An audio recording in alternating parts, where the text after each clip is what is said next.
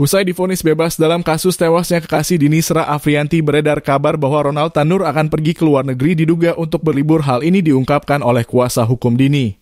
Dimas Simahura saat melaporkan tiga hakim pengadilan negeri Surabaya ke Komisi Yudisial atau KY. Senin 29 Juli 2024 Dimas berujar, kabar ini membuat keluarga Dini merasa sakit hati.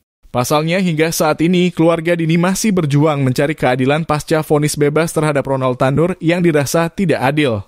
Sementara itu dalam kesempatan yang sama anggota DPR RI fraksi PDIP, Rike Diah Pitaloka meminta kepada institusi yang berwenang untuk mencegah Ronald ke luar negeri meski sudah berstatus bebas. Hal yang sama juga disampaikan oleh Wakil Ketua Komisi 3 DPR RI Habibur Rahman.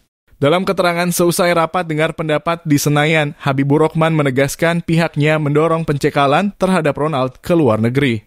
Menurut Habibur Rahman menilai pencekal masih bisa dilakukan lantaran proses hukum masih berlangsung dan belum diputus inkrah.